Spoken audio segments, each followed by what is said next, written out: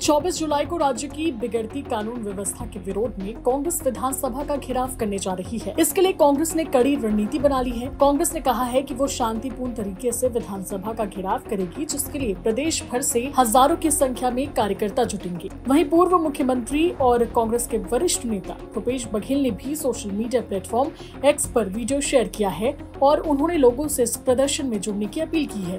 उन्होंने video share करते हुए लिखा, गोलीबारी, हत्या, लूटपाट और सरकार की जन विरोधी नीतियों के खिलाफ 24 जुलाई को विधानसभा घेराव अधिक से अधिक संख्या में पहुँचे रायपुर चलो। जय जोहार। जब से विष्णुदेव साया की सरकार बने हैं, तब से प्रदेश में कानून व्यवस्था की स्थिति बद से बदतर हो जाती हत्या, लूटपाट, डकैती ये आए दिन की घटना है कोई भी नागरिक सुरक्षित नहीं है।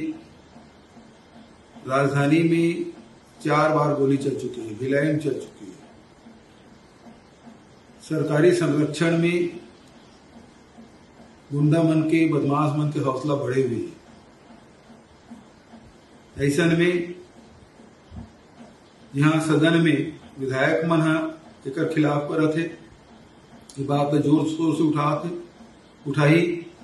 उन्हें प्रदेश कांग्रेस कमेटी के द्वारा विधानसभा घेराव के भी कार्यक्रम 24 तारीख के रखे गए हैं।